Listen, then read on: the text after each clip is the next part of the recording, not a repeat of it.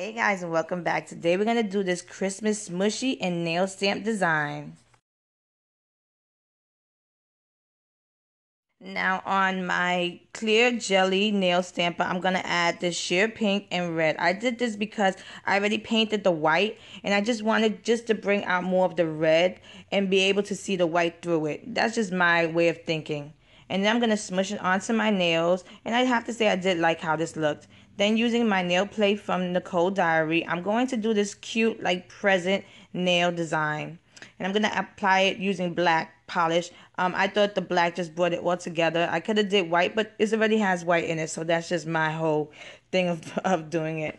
And I'm to remove the liquid latex and clean around my nails. I hope I made this video really easy to follow and really simple. If you want to see longer smushy videos, tell me in the comment section below.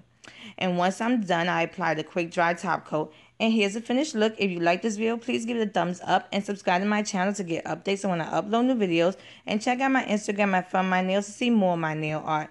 Thanks so much for watching. See you next time.